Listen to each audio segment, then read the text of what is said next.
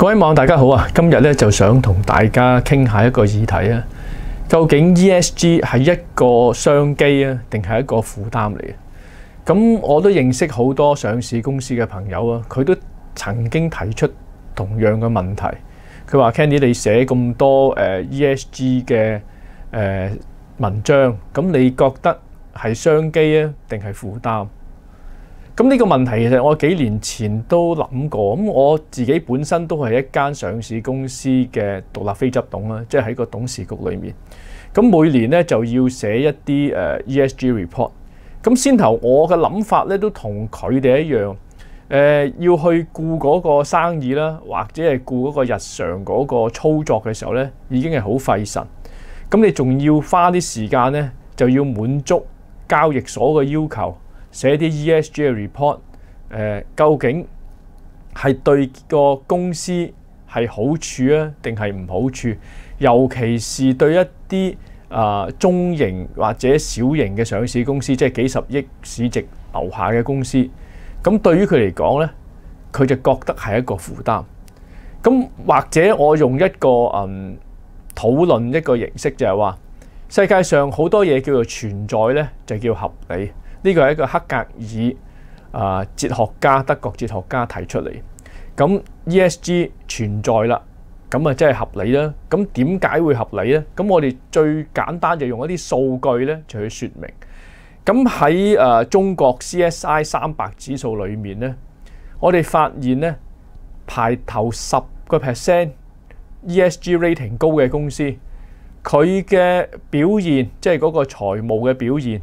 係比誒一般 CSI 三百咧係高兩成到四成嘅，喺由二零一六年開始到而家係高兩成到四成不等。咁即係話着重 ESG rating，誒 ESG 表現好嘅，佢嘅回報就一定係高。咁呢個係一個事實，尤其是喺嗰啲發展中嘅國家，誒佢嘅表現係比發展咗嘅國家咧就更加好。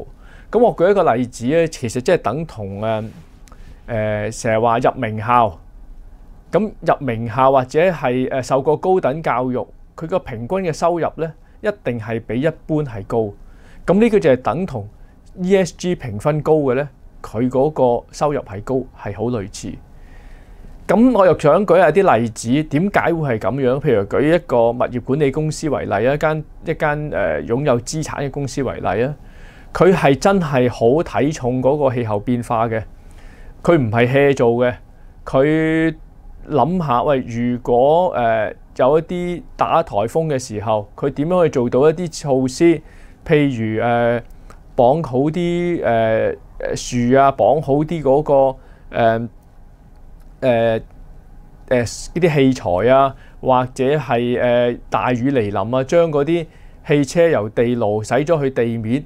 咁呢啲咁嘅措施係會將個損失減低嘅時候，咪會令到誒啲、租客更安心去租，個租金會貴咗，減少咗嗰個維修費用，咁個回報咪會高咯。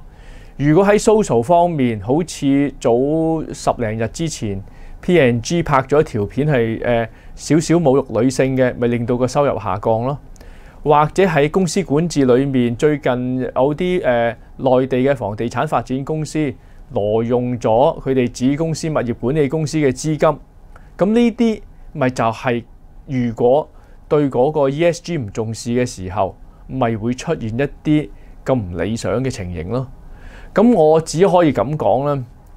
誒，ESG 如果再主動啲嘅，係可以喺聯合國嗰十七個誒可持續發展目標裏面去揾到一啲商機，例如啊。SDG 七啦，就係講緊一啲可持續嘅能源啦。咁你睇下寧德時代，佢睇咗呢個議題，去發展一啲誒、充電池、儲能式嘅電池，咪變咗上年嘅首富咯。咁呢啲就係商機咯。咁我成日覺得誒、ESG 係一杯誒、半杯水嚟嘅。誒、呃、樂觀嘅人睇嘅，咪就係機會咯；悲觀嘅人睇，咪就係負擔咯。今日想講嘅誒 ESG 係唔係商機就到呢度啦，有咩可以留言大家傾一傾嘅，拜拜。